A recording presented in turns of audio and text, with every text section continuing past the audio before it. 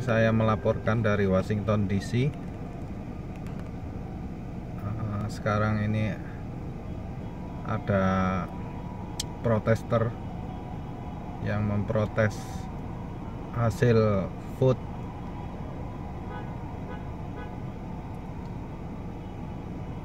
presiden baru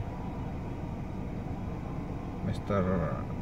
Donald Trump people not happy with the result and then protesting.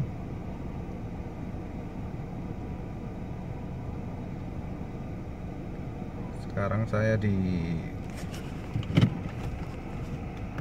14th Street. And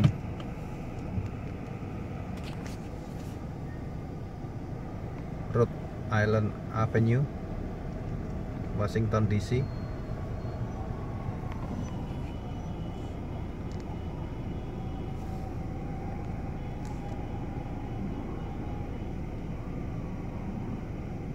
banyak orang lagi protes nih.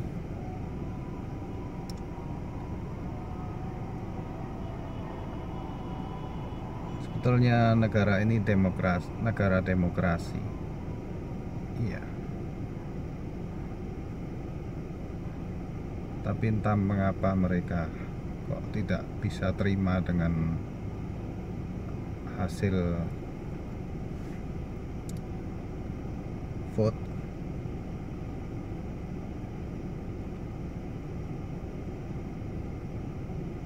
karena pada dasarnya vote itu